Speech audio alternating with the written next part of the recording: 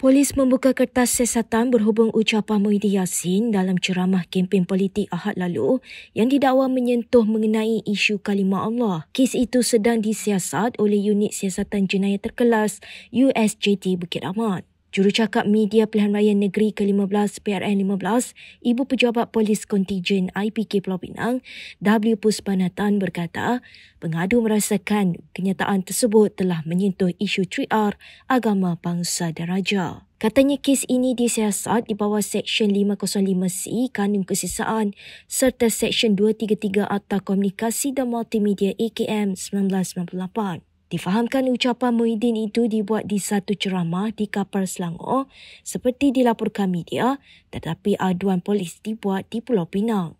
Semasa ceramah tersebut, Muhyiddin Yassin sekali lagi mempersoal kewajaran kerajaan tidak meneruskan permohonan semakan kehakiman membabitkan kes kalimah Allah dalam kes Jail Island.